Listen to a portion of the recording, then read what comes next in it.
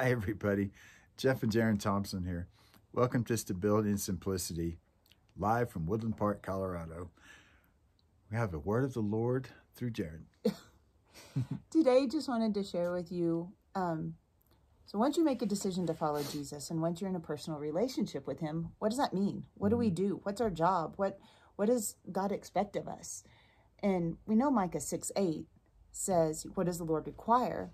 But to love loving kindness, to do justice, and to walk humbly with Him. But how do we mm. walk humbly with Him? What What does that look like? And as God's image bearers on the earth, we're to multiply, be fruitful, subdue, have dominion. But why? And what does that mean? Does it just mean having kids? But I really, fruitful? yeah, exactly. but I really want to encourage you that what this means is that we're to reproduce Him. Amen. So many times we say, Father, your kingdom come and your will be done on earth as it is in heaven. But how do we do that? We do that through reproducing him in our choices, and our in our words, and our conversations, and our thought life. Amen. And so it's and it's not a matter of works, but it's a matter of what fruit are you bearing?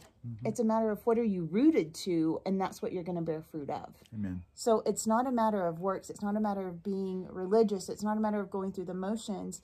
But for us as God's kids to literally say, Father, your kingdom come and your will be done on earth as it is in heaven. Um, how do we do that? And we do that by reproducing him.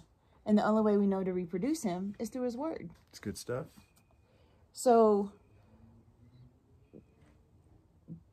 um, your life is no longer your own once you become a child of God. Yep. And uh, First Corinthians, let's see here, it talks about, do you not know that your body is a temple of the Holy Spirit who is in you, whom you have from God? You are not your own. You were bought with a price. Therefore, honor God with your body.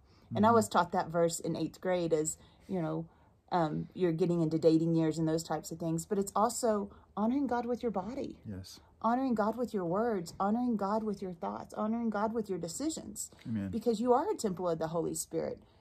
And um, this is what brings His kingdom to earth. It's the unity of the body of Christ. It's the body of Christ working together. Amen. And um, let's see here, I want to read. I, therefore, the prisoner of the Lord, beseech you to walk worthy of the calling with which you were called, with all lowliness and gentleness, with long suffering, bearing with one another in love, endeavoring to keep the unity of the Spirit in the bond of peace. There is one body and one Spirit, just as you were called, in one hope of your calling. We are one body. And if we don't do our job, whatever, if you're the little toe, if you're the, the eyeball, if you're the eyelash, if you're um, a finger, it doesn't matter. Those of us who have been the lesser parts, especially for extended Yeah. periods, we know what it's like to be the lesser part. We also know that it can't happen without us. It takes the entire body working together because if mm-hmm. there's, if you've ever watched like gears working together, if there's a cog that's off, Right. the whole thing shuts down because the gears can't can't work if one piece is missing. Right. And the body of the body of Christ is the same way. I'm just a toenail. Let's remove a toenail and see how everybody see else feels walk. about that. Wear a shoe. um, and the purpose of being a child of God is to love the Lord your God with all of your heart, with all of your soul, with all of your might, and love your neighbor as yourself. So many times we have to remember to be patient with each other. Hmm? And we're we're good at judging ourselves off our intentions, but judging everybody else off their actions. But to Hey, truly hey, to truly be the body of Christ, it's endeavoring, it's pursuing love, it's pursuing Christ, and working together. We're all going to share heaven together. Yes. We need to work together now. Amen. And so I just want to encourage you that we all need to unite together to bring the kingdom of God to earth. Amen. And do you have anything to add? Oh. Anything on your heart? Just what you were talking about as as one body and and, and our bodies being a sacrifice to the Lord. All right, let's make this one clear. God cannot operate in this realm without humans. Amen. He cannot, and that's just the way he designed it. But just because we have dedicated ourselves to to the work of the kingdom doesn't mean that God needs us exclusively.